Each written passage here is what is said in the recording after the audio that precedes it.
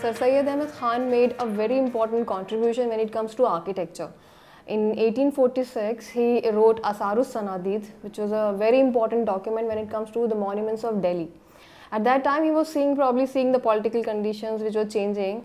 So he realized that uh, such a beautiful heritage, which has been, which has seen so many eras of different uh, rulers, uh, might get you know some kind of harm with time, with change in rulers and political conditions.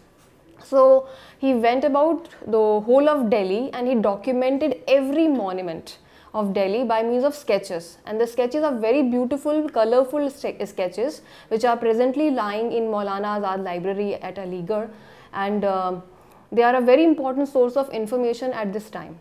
Another important documentation he did for the monuments was that he uh, he documented the inscriptions on the monument like the calligraphy the other things which are which are being written.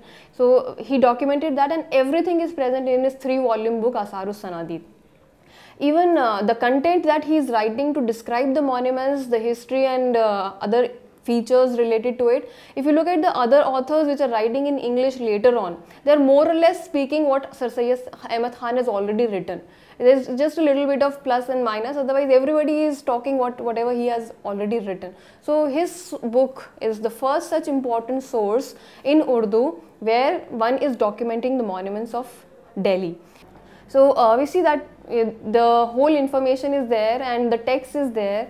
So Sir Syed Ahmad Khan contribution to architecture is a very important and uh, very authentic source of information at the present time. Uh, Sir Syed Ahmad Khan uh, was a visionary and he started with a university when the political conditions were very different. When he, when he felt that education can only change the scenario so that was obviously a mission and uh, his contributions mostly people doesn't know. Uh, maybe because they were all written in English, very few, few people know. So it is very important that we reach out to people, we acknowledge what was his contribution in different fields. Yes, NS Films uh, definitely is doing a good job by uh, putting all the lost uh, you know pieces of the puzzles together and to make a comprehensive feature film on a visionary a person who may, who envisioned education as an important tool for uh, you know for the society. And I think if we look at it um, it has really done wonders and uh, I think ev in every corner of the world we can find graduates from Aligarh Muslim University. I myself is a graduate from that place. That's my alma mater. It will be a, a little contribution from my side to my alma mater.